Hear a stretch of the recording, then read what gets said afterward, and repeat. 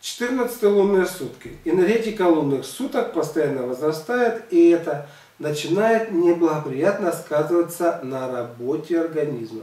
В этот день рекомендуется ограничить поступление жидкости в организм.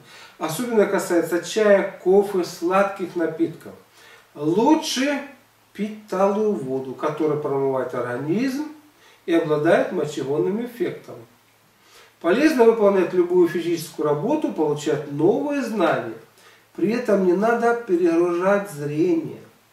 Не рекомендуется подчиняться меланхолии, тоске и различным страхам. Очень хорошо заниматься ароматерапией.